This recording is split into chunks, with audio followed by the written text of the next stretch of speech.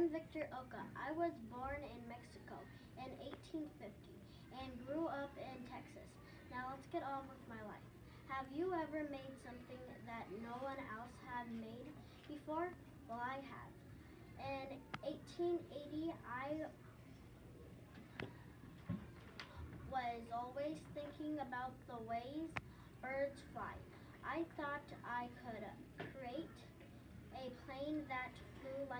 bird. So I got to work. I tried over and over again. I finally made a flying machine. I, I actually made three things. I made a pen that held its own ink. I made a motor that went for, forward and backwards. Those are all my ideas.